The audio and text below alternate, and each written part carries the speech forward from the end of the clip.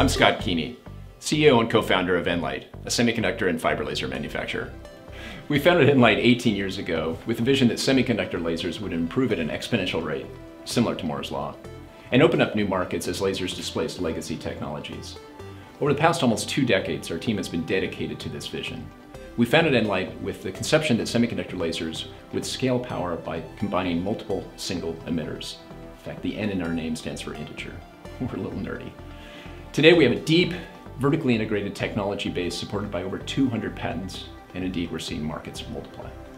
Our revenue has grown consistently and rapidly, over 30% compound annual growth rate over the last four years, while our industry has grown about 20% a year. Cutting metal is just one of the many applications that we enable with our lasers. These are videos of multi-kilowatt lasers cutting both quickly and with great precision. It is noteworthy that these examples are applications that were not addressable when we started nLight. But as semiconductor and fiber lasers have improved in both performance and cost, we've exploited these trends in applications where laser photons can be used to precisely transfer energy and cut metal. It is still remarkable to see how a laser light source can cut through over one inch thick metal. In order to produce these photons, we begin with the gallium arsenide chip. This is a core technology that we started the company with almost two decades ago. From this chip, we then integrate into our patented fiber coupled packages. We are also vertically integrated into the raw materials for our own optical fiber. And finally, this is all integrated into our fiber lasers. We are one of the few companies with complete vertical integration. This integration allows us to both control our technology and our cost. In order to explain this technology further, I want to use an example of one of our fiber lasers, a 3 kilowatt fiber laser. There are two key technologies. First, the fiber. The optical fiber is doped and provides the gain for the fiber laser. The second key technology is our semiconductor laser. This rack shows a number of our fiber coupled packages that produce the energy that drive our fiber laser. We couple many single emitter semiconductor laser chips together through precise optics and couple this light into a fiber. We couple over 250 watts into a 100 micron fiber, roughly the diameter of the human hair. Each one of these chips then are specially designed for these fiber coupled packages. Electrons drive this energy, and this chip provides the cavity for the photons to be coupled into the fiber. Each one of these chips can produce up to 18 watts of power. And this 5 millimeter piece of gallium arsenide is the heart and soul of what we do at nLight. Semiconductor lasers are small, efficient, and cost effective. And when combined into fiber, they produce very bright laser light that can, can be used in a wide range of applications. Our brand promise reflects our focus. First, we are striving to simplify lasers so that they can be practically deployed in a wide range of applications. In the past, lasers were made by scientists for scientists. We are focused on ensuring our lasers can be used in a wide range of manufacturing environments. Second, we focus on making brilliant lasers.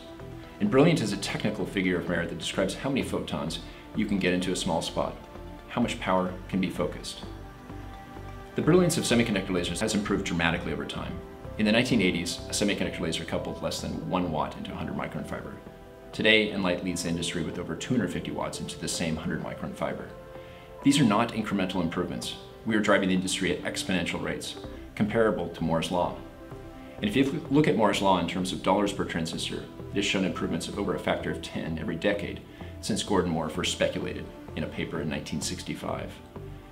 We are on a comparable exponential improvement curve, roughly a factor of 10 every decade, with rapid improvements in performance, bright watts, and continued cost improvements. In the microprocessor market, photolithography has driven higher density features, which has enabled new applications over the last 20 years. Similarly, advancement in laser technology has driven a broad range of markets in a similar virtuous cycle. It took over two decades to develop the basic technology for semiconductor lasers after it was first demonstrated in a lab at GE in 1962. In the 1980s, companies like SDL led the industry, but the end markets were relatively small. You could only use a laser if you really had to use a laser. Then the telecom markets were enabled by semiconductor lasers for amplifiers. Massive investments drove numerous technology advancements. Finally, over the last decade, price performance improvements have enabled new markets. Today, the semiconductor laser is truly driving a new market as laser is becoming a ubiquitous tool. These improvements in technology have helped drive the rapid growth in the overall laser market, which today is over $10 billion. And the high power laser portion of that market is being driven by semiconductor and fiber lasers, which are over $2 billion today and growing at a 20% compound annual growth rate and expected to be over $4 billion by 2020.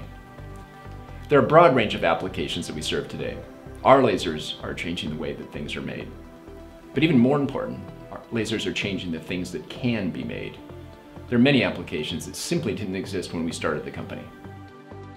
Semiconductor and fiber lasers are truly a disruptive technology, an exponentially improving technology that will continue to impact many different sectors of the economy.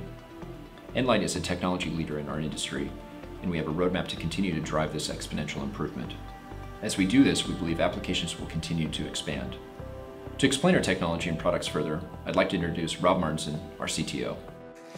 My name is Robert Martinsen. I've been making lasers for over 25 years. When I joined nLIGHT 14 years ago, I recognized an extraordinary team. A team that takes new approaches to tackling unsolved problems. We do that through the lens of simplicity and brilliance. Lasers are based on quantum physics, so they're complicated. And this has limited their adoption in the past. At nLIGHT, we've taken a platform approach to drive simplicity in the lasers that we design, and I will talk about that further. But the core principle that ties our product platforms together is the notion of brilliance, the ability to focus lots of photons into a small spot. And when that happens, you can do amazing things with light. And in many cases, with better economics, faster processes, and better results than with any other tool. To be in the business of making fiber lasers, you must be vertically integrated. It's foundational for driving differentiation and cost. We've always held a strong conviction that the best components make the best lasers. At nLIGHT, these components need to have unmatched performance and have a simple embodiment.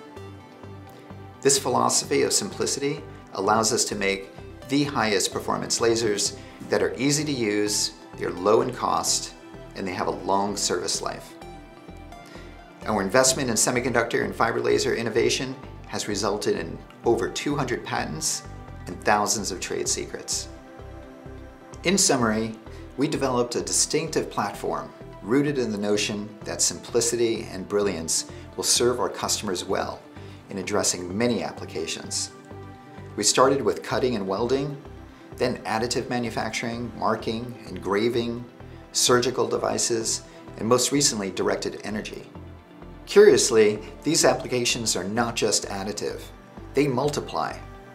In fact, what we're finding is that when we make lasers simple, easy, and intuitive to use, people are inclined to use them for applications we haven't considered before. The result is exactly what we're witnessing, a fourth industrial revolution where the proliferation of new applications are allowing people to create new things. That's why we're committed to a platform approach guided by simplicity and brilliance.